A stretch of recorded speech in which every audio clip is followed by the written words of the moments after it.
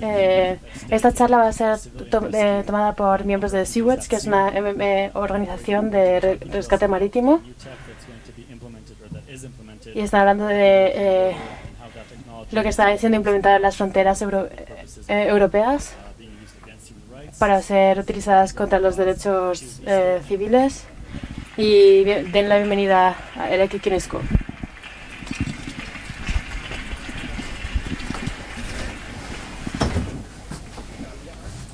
Um, buenas, tardes.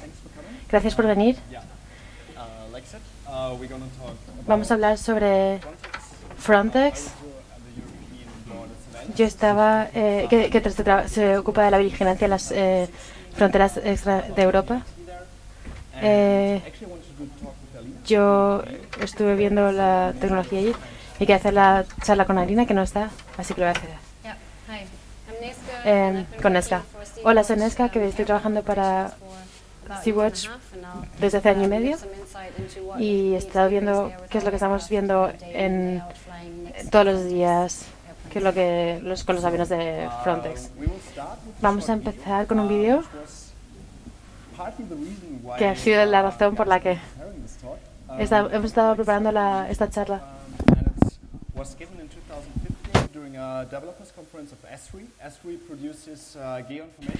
Eh, entonces están utilizando software de eh, vigilancia. Y estamos viendo el sistema de vigilancia que estuve hablando con los desarrolladores y los, eh, los con, contrató. Y creemos que gente tiene que verlo. La gente tiene que verlo.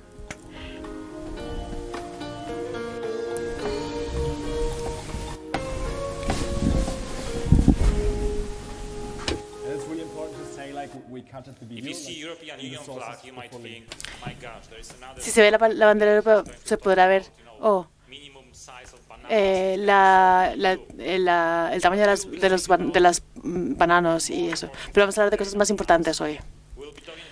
Vamos a hablar de la seguridad inter, interna. Estamos hablando de los problemas que estamos, eh, a los que nos estamos enfrentando como Europa. Y como una agencia, Frontex, ayuda a personas de la Unión Europea a tratar con estos problemas. Nuestro objetivo político es asegurarnos de que podemos ayudar a los miembros con tecnología actual a minimizar el número de problemas humanitarios. Y este es el, el, lado oscuro de la gestión de las fronteras. Estamos hablando de estas personas.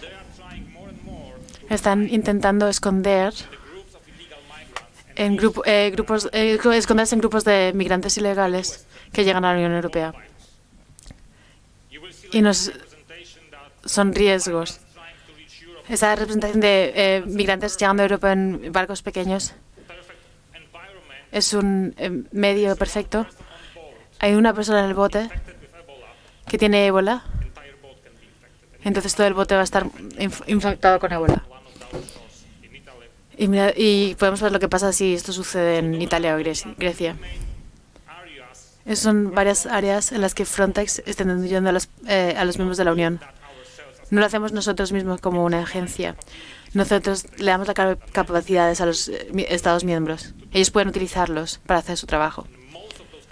Y las mayoría, la mayoría de sus capacidades son tecnología inteligente, herramientas, eh, medios de inteligencia, eh, análisis de riesgo. Es lo que más, hacemos, análisis de riesgo.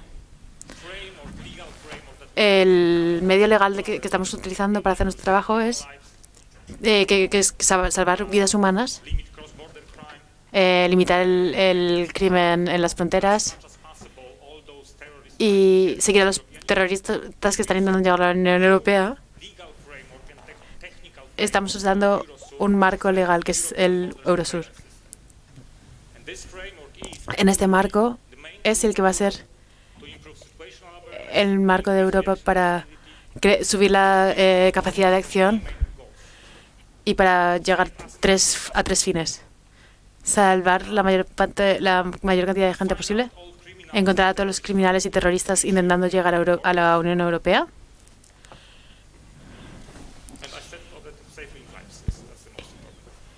Y salvar gente. Hace un par de años decidimos eh, eh, utilizar capacidades, que es el centro de, de sus, el centro son sus productos. Entonces tenemos muchas fuentes de datos. Básicamente, todos los días estamos buscando más fuentes de datos de diferentes proveedores. No hay límites. El cielo es el límite. Y estamos intentando utilizar toda clase de, de, formatos de datos o de fuentes de datos. Y esa es nuestra plataforma. Aquí podemos ver varias, eh, herramientas y podemos utilizar cuál podemos utilizar. Es una cosa muy básica para vosotros, no lo voy a explicar mejor. Eso es algo que nos dicen para desarrollar un sistema que nos eh, sirva. Entonces decidimos construir diferentes eh, tecnologías para eh, llegar a estos fines. Entonces lo que haremos y lo que nuestros usuarios usan es tocar en una pantalla y eso nos da diferentes tipos de datos. Por ejemplo, esta es una imagen general de los barcos comerciales en eh, mar abierto. Esos son sistemas de reporte. Diferentes tipos, de diferentes eh, fuentes. Incluso la posición de algunos eh, cruceros nos muestra. Y aquí podemos verlo todo aquí. Entonces voy a explicar por qué, por qué es tan importante para nosotros. Otra cosa que queremos hacer es darle a nuestros usuarios modelos detallados sobre el tiempo en el, mar. Entonces, eh, las personas pueden eh, hacer zoom en, la, en el área que le interesa y ver hoy a las 6 de la tarde las olas aquí son de dos metros y se puede ver cómo va a cambiar la situación en las próximas horas. También mostramos una simulación que tiene en cuenta muchos modelos, la temperatura, etcétera, que para predecir cómo es el tamaño del, barco. Y hay que mantener en mente que solo es una parte de la, situación que conocemos. Es más o menos a tiempo real, pero digamos el 40% de nuestro trabajo el 60% de nuestro trabajo es análisis de riesgo. Estamos usando una plataforma que nos ayuda a predecir la situación, cómo va a cambiar en el futuro, cuáles son los, las, eh, los trends. intentamos hacer una visualización para dejarles ver a las personas y poder entender qué va a pasar. Y todo está en los mapas, en mapas en la web, en portales. Y creo que esto es un buen ejemplo de cómo se puede crear un ejemplo.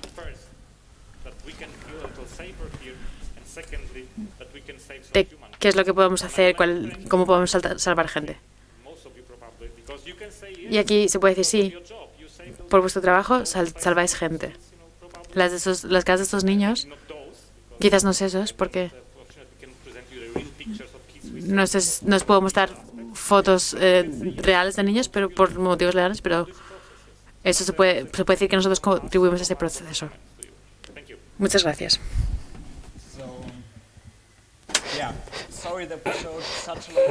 Pues les pedimos una disculpa por haberles mostrado un video tan largo, pero creemos que es importante porque creemos que es muy interesante eh, cómo es que las personas que trabajan para Frontex están vendiendo su idea a sus proveedores o a las personas con que trabajan con ellos. ¿De qué manera, con qué lenguaje lo hacen? Y, entonces vamos a hablar ahora de la, del área Schengen, que es lo que el, Frontex está, está tratando de proteger. Que son todos los... esta área está constituida por todos los, los um, países miembros de la Unión Europea que se en, el 2006 fue que, se empezó con este, con este programa. Están organizados en una serie de textos que dicen cómo es que se formaliza y cuáles son las atribuciones que tienen. Y entonces dentro de, todo este contexto es que Frontex se fundó con el nombre de Agencia de, Control Europea de, Fronteras y Costas y, y están a cargo de la seguridad dentro del área Schengen. Y, entre sus tareas está también eh, el proveer seguridad en, la, en, el, en aguas, el control dentro de aguas en los países con costa y facilitar la cooperación entre las policías nacionales y también eh, dan entrenamiento y desarrollan herramientas. Vamos a volver sobre las herramientas porque queremos, vamos a, vamos a mostrar algo sobre las herramientas que se, que se generan para las policías nacionales. Lo que podemos ver acerca del, presupuesto de Frontex es que se ha incrementado muy mucho, que se, se, se, espera que, que, este es el presupuesto que se muestra para los años 2020 hacia adelante.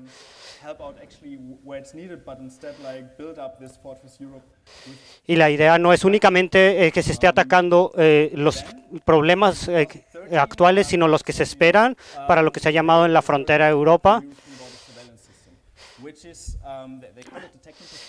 Y entonces a esto le, le llaman un marco de técnico y no es lo mismo el, presupuesto de Frontex que el presupuesto que estábamos mostrando. Está ahí para generar una uh, imagen de Europa, que es lo que veíamos en, el mapa anterior, anteriormente. Y la idea es uh, hacer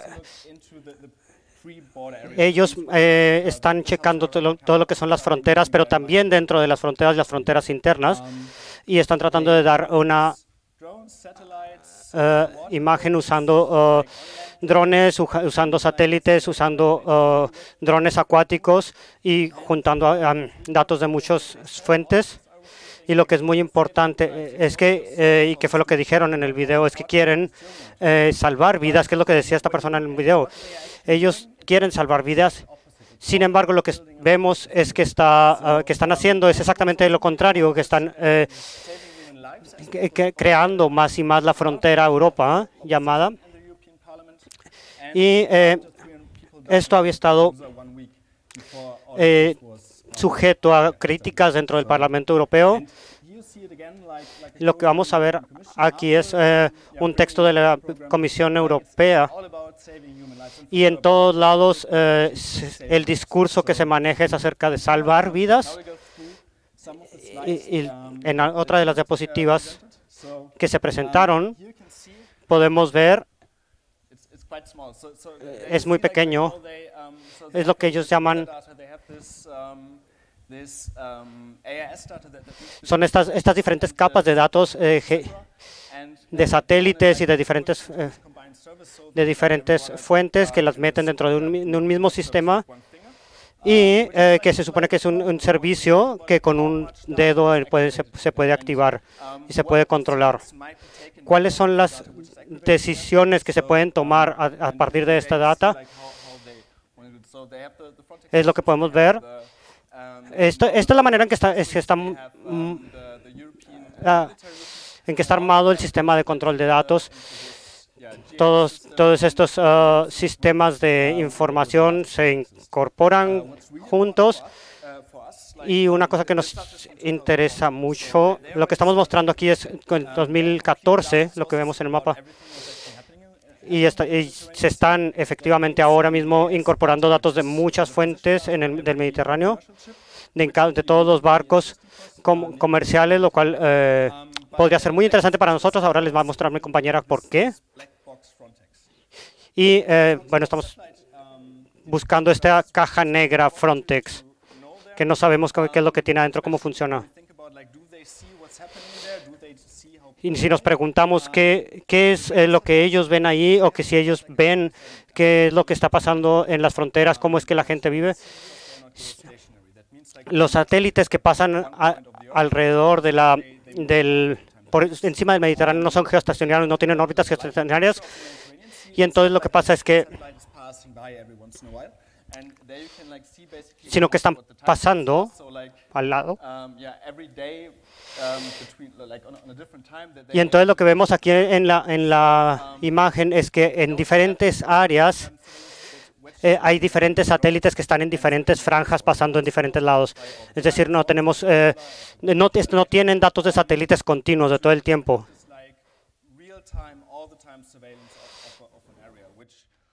Cuando lo que están buscando ahora es tener todo el tiempo datos de, vigilancia de un área. Lo siguiente que vemos aquí es cómo se hace el análisis automático. Lo que ven, lo que ven los, en los triángulos verdes es que ahí, en ese lugar, ya hay datos del sistema oficial de datos y lo que ven también son los, son los pequeños barcos que no están lanzando mensajes, que no, están mandando señales, que puede ser que estén eh, enviando eh, señales en otro formato.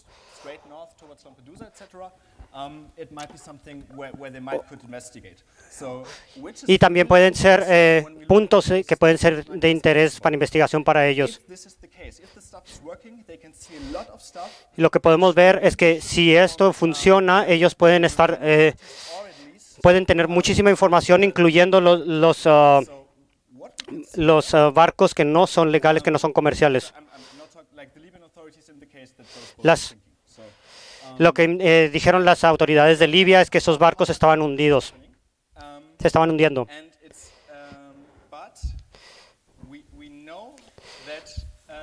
No sabemos exactamente lo que está pasando, pero sabemos que en la costa se, se ve, salen estas imágenes. Nunca sabemos exactamente cuál es la información. No sabemos si saben de los barcos, si saben exactamente dónde están. Pero la Guardia Costera muestra esta, foto en la página de Facebook, de Facebook en la que se ve una imagen de un dron o de un, eh, un avión de vigilancia. Entonces la pregunta es, ¿por qué tienen esos datos y nosotros no? Y ahora necesito hablar de un caso que es muy interesante.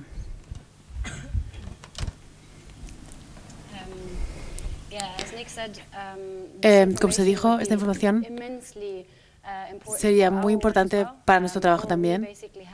Todo lo que tenemos es nuestro avión y los barcos que están en fuera de las ONGs llegan a un punto en el que no se nos dice de esta clase de casos por el Centro de Coordinación de Rescate, incluso si nosotros somos los barcos más cercanos en el área. No se nos avisa porque no quieren que eh, rescatemos a la gente. Con nuestro avión, como podemos volar la mayoría del tiempo, incluso cuando los barcos están en el puerto por políticas europeas, nosotros vemos muchos casos en los que sabemos que Frontex y otras autoridades europeas sabían acerca de botes con problemas, pero decidieron no hacer nada o informaron a la así llamada eh, Guardia Costera de Libia, de manera que esos botes fueron dejados varias semanas incluso en el mar. El caso más prominente es de este año fue el bote de el que está escribiendo aquí en la imagen con 50 personas, 15 eh, personas, en que algo pasó en, en agosto en el este de Libia que estuvo en el mar por 11 días antes de ser visto y reportado. Estos fueron 15 días de buen tiempo en los que sabemos de varios casos de en los que, en el que Frontex y otros aviones europeos habían pasado e incluso este caso no y aún así este caso no había sido reportado y dicen que no sabían de eso sino hasta el eh, eh, um, día número 11 en el que solo había una persona que, había, que se había salvado y todas las demás habían muerto. De lo que hemos visto en estos días, podemos eh, asumir que sabían de esto antes, pero decidieron no rescatarlo. Esto eso fue otro caso en junio de este año. Era un barco de gente que había acordado, que llamado alarma al, al AMFOR, una organización que da un número de teléfono en el que la gente se puede llamar por un teléfono en satélite. Y ellos nos dijeron que había, llevaban tres días en, en la mar. Y cuando nuestro avión los encontró, ya era el tercer día. Y se les había acabado la gasolina. Y estaban en, el área de rescate maltesa. Y las Fuerzas Armadas de Malta ya habían sido informadas y un avión de Frontex estaba en el mar. Y entonces intentan eh, eh, evitar la comunicación, comunicación que podemos escuchar porque no quieren saber que sepamos lo que hacen, lo que no hacen, lo que saben. En ese caso, la persona del avión de Frontex no, no tenía tanto cuidado y mandó por radio en un canal abierto que habían estado viendo un bote por varias horas. Lo que pasó es que nosotros invitamos sobre este caso y sabíamos que las Fuerzas eh, Armadas maltesas ya lo sabían y lo, habían visto, pero no habían, decidido no hacer nada. Cuando volvimos a este caso, seis horas más tarde, te había estado un poco más en el área y todavía no habían sido salvadas estas personas. En ese punto, lo que hicimos fue tener que eh, decir que sí, les íbamos a llevar a juicio con un vídeo y con las eh, grabaciones que teníamos. Y que es una de nuestras mayores tareas. Tenemos que guardamos eh, todo lo que vemos para poder em, denunciarlos. Y eso es lo que puede ayudar a estas personas en el futuro y para darle justicia a este comportamiento. Y después de que hiciéramos esto, empezaron a rescatarlos.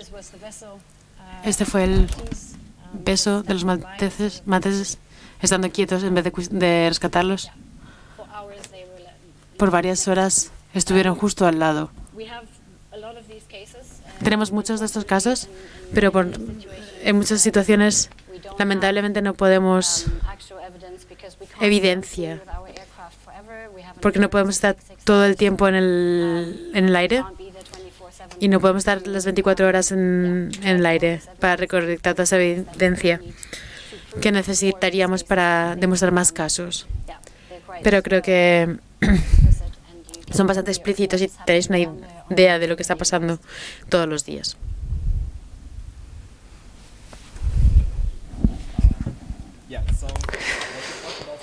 De lo que hemos estado hablando hasta ahora son problemas que, ya, que están ocurriendo en este momento.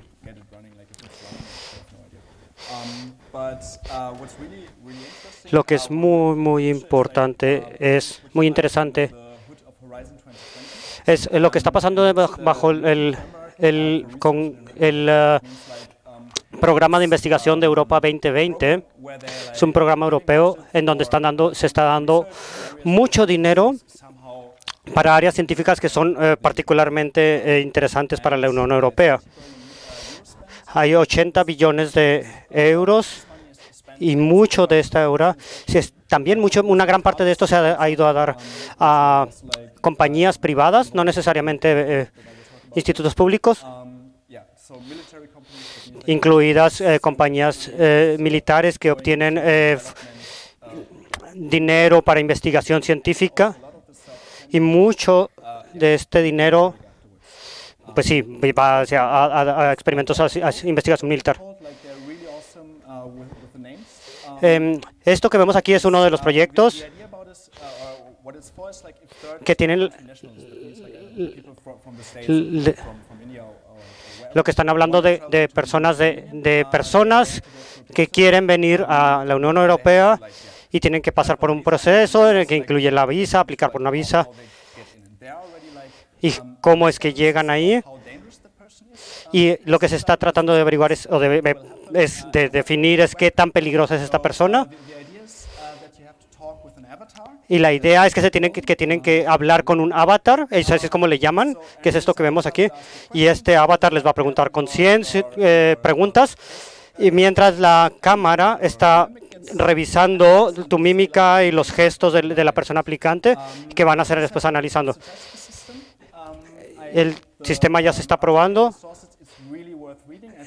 Hay un artículo publicado que, que es acerca de sistemas biométricos y, es un artículo que es muy bueno que eh, les recomiendo que lean y que está, están, son tan buenos como estos avatares eh, pretenden ser. ¿Y qué es lo que está pasando en, en esta clase de sistemas? Y bueno, hay, hay una, hay una página, bordercontrol. alguna cosa así. Búsquenlo. Y bueno, lo que dicen, lo que muestran ahí es, son estos diagramas que vemos. Y lo que vemos aquí hay, hay el lado del cliente y del otro lado tenemos los, los usuarios. Y lo que en realidad está pasando en el centro, maybe tal vez algunas otras personas lo, puedan entender, pero bueno, yo quisiera saber qué es esa parte del, del database. La, base de datos que está en amarillo en el centro, porque lo que, se está, lo que están haciendo están eh, recolectando todos estos datos de las personas y se están almacenando. Se están creando estas bases de datos y nadie realmente está ahora mismo teniendo cuidado, controlando qué es, qué es, lo que se está haciendo ahí o si es legítimo eh, eh, guardar todos estos datos. Desde luego, de, uno de los argumentos que se, que se manejan es que hay muchos terroristas involucrados.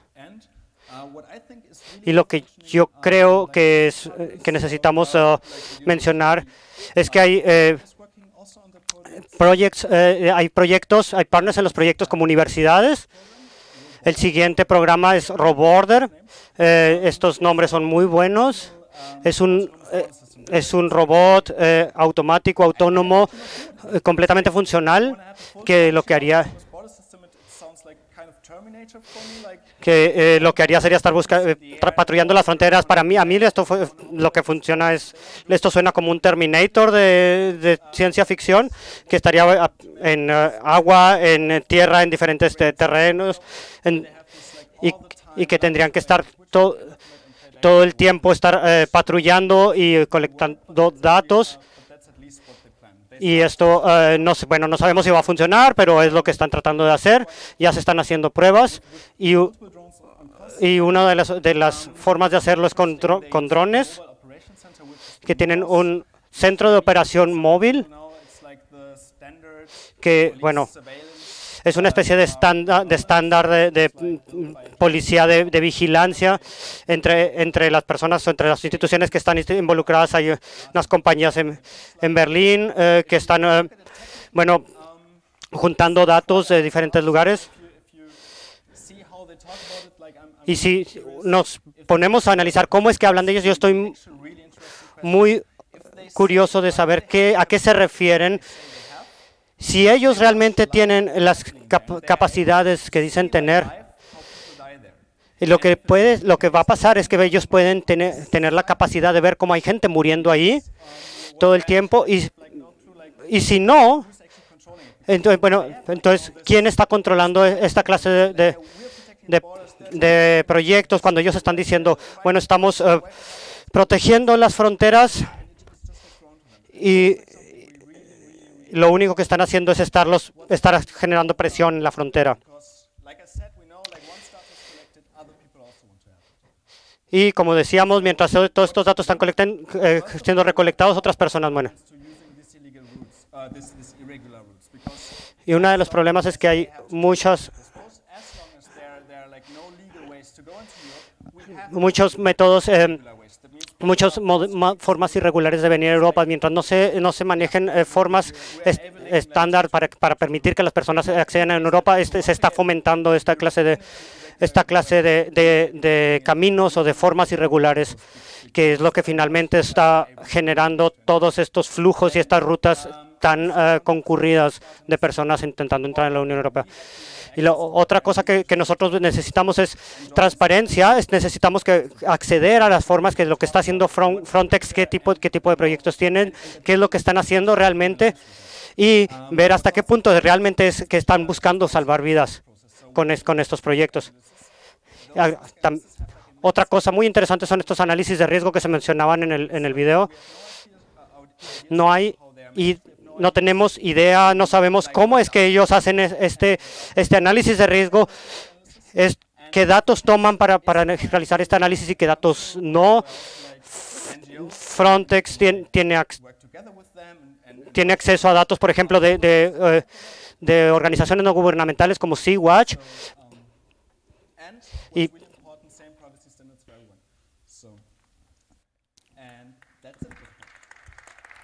Eso es todo. Aplausos del público.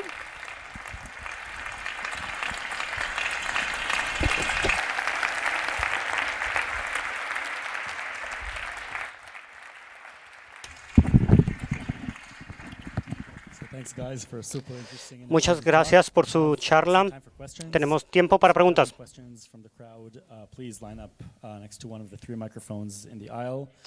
Tenemos tres micrófonos para tomar preguntas del público.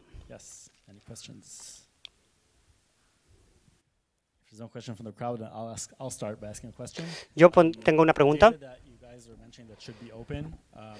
Ustedes, los datos, es acerca de los datos que ustedes dicen que deben ser abiertos, que deberían ser abiertos,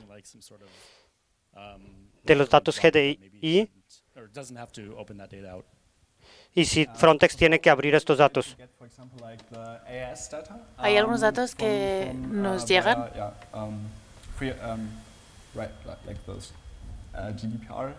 como algunas eh, peticiones de El problema es que son datos comerciales que probablemente llegan de servicios comerciales que tienen cooperaciones con ellos. Eh, Fragdenstadt eh, les eh, los llevaron a juicio por una posesión de datos, porque es uno de los puntos. Creemos que trabajan con otras con empresas de manera más cercana de lo que dicen, de manera que no se sabe.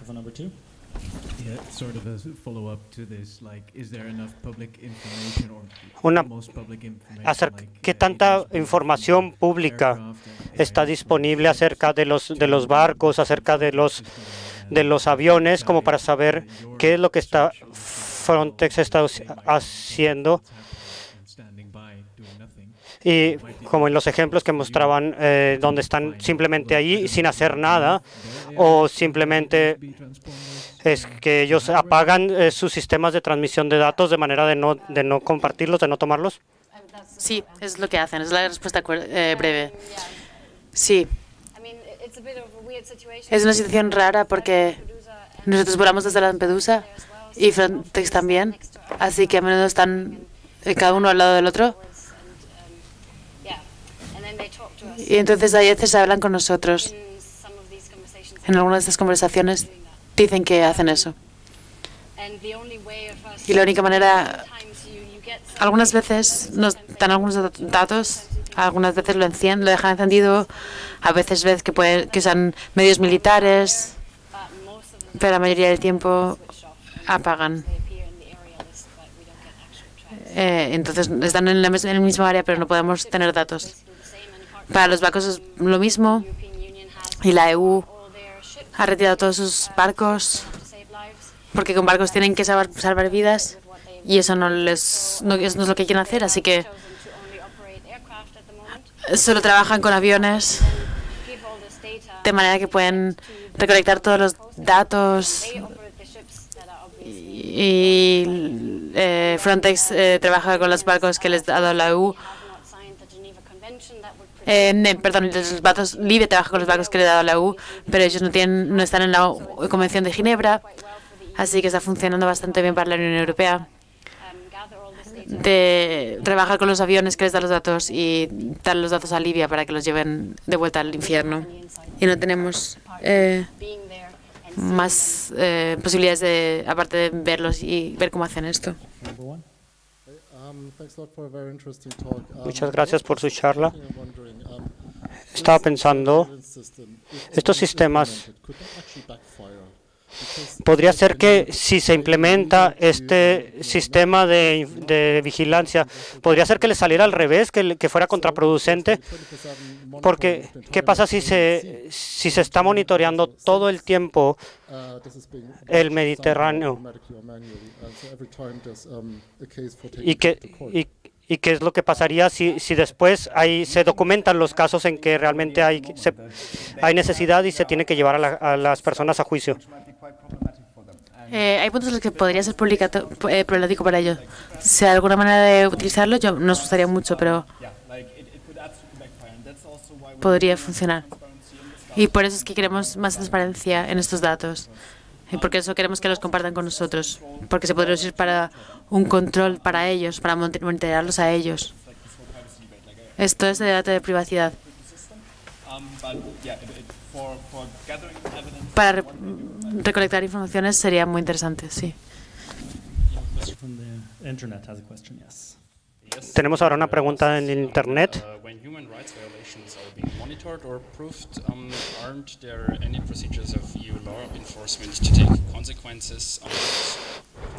¿Qué es lo, qué es lo que pasa cuando eh, se está tomando datos en aras de los derechos humanos, pero se, se eh, hay un crimen que se cometa, que comete, ¿qué pasa con, los datos que documentan ese crimen o que se pueden utilizar en la corte? Es un poco difícil. Nosotros como civiles no podemos llevar a los cubiertos a la corte, no tenemos ese derecho, eh, a Frontex a la corte. Los estados pueden hacerlo, pero los estados no tienen interés en hacerlo. Depende un poco. La única gente que podría hacerlo es la gente que está afectada, la gente de los botes.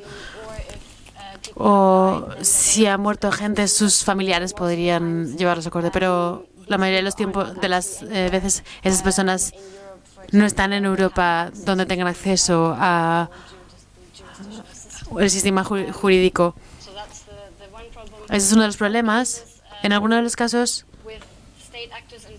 algunos eh, actores del Estado eh, lo persiguen en los estados. Eh, algunos persecutores de los estados podrían llevarlos a juicio, por ejemplo, en el caso de Italia, porque Italia tiene barcos marinos allí de, de la Marina y a, veces hay fuerzas que están intentando investigar en esta dirección, con los que estamos en contacto dándoles nuestra información, de manera que por lo menos eh, la Marina italiana podría tener llevada, ser llevada a juicio. Por ahora lo que podemos hacer es publicar esto y hacer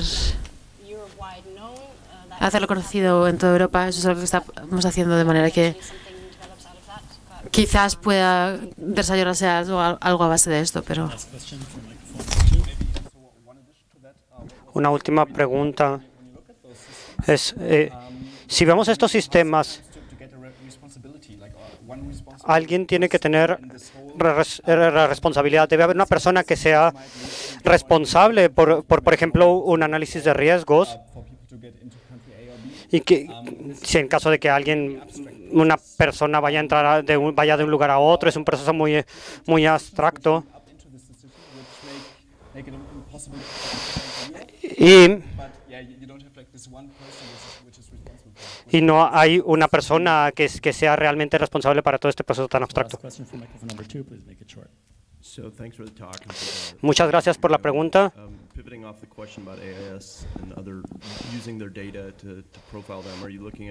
Acerca del acerca del Estado Islámico y otras personas, que, otras organizaciones que pudieran utilizar estos datos. ¿Qué, qué es lo que qué, qué es lo que se podría hacer con estos datos? Por ahora no. Pero nosotros tenemos mucha interacción de que nos ayudéis a hacer eso. Eso es todo el tiempo que tenemos para preguntas. Muchas gracias por el trabajo que estáis haciendo, gracias por la charla. Esta fue...